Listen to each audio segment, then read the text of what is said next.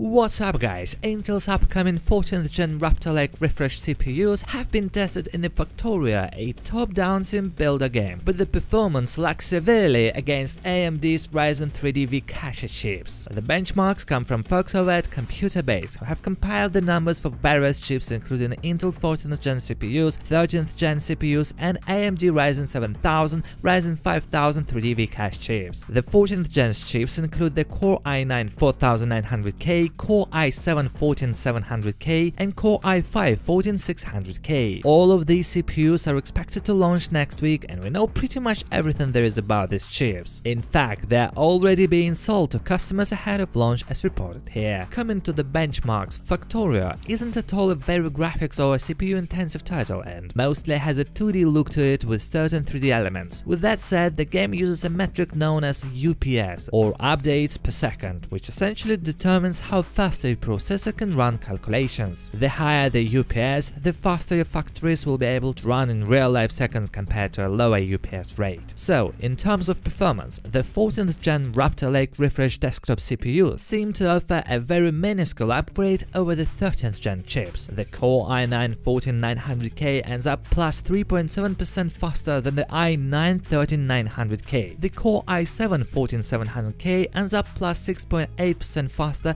than the i7-13700K, while the Core i5-14600K ends up plus 1.2% faster than the i5-13600K. But the outlet also compared the chips against the AMD Ryzen 7000 and Ryzen 5000 3D V-Cache chips, and it's an onslaught. The AMD Ryzen 7 7800X3D ends up being 63% faster than the Intel Core i9-14900K, the fastest 14th gen CPU, while the Ryzen 7 5800X3D ends up being 23% faster than the 14th gen flagship. This is a massive performance difference and one possibility of such a huge performance difference can be due to the 3D V-Cache technology that this game might benefit from. There are no non-3D V-Cache chips compared here, so we can't say for sure if it's the 3D V-Cache tech that's offering this uplift or if it's something else. A general optimization towards AMD CPUs may also be the case, but there is no specific mention by Factorio devs to have optimized a certain vendor's CPUs. Official Intel slides have shown an average plus 2.56% performance difference between the Core i9-14900K and the Ryzen 9 7950X3D. The Intel Core i9-14900K CPU ended up faster in 14 out of the 25 titles, while the AMD Ryzen 9 7950X3D CPU ended up faster in 9 titles. The 14900K showed up to double-digit gains in titles such as Metro Exodus plus 23%, Starfield plus 23%, Total War Warhammer plus 22%, Ashes of the Singularity plus 15%, and CSGO plus 14%, while the 7950X3D was faster in esports titles such as Dota 2 and Fortnite. In reality, the i9 14900K will end up being pretty much the same as the 13900K, but with some improvements in applications that benefit from higher clock speeds. Guys, thanks for watching this video, please share it with your friends, see you in the next one, peace out!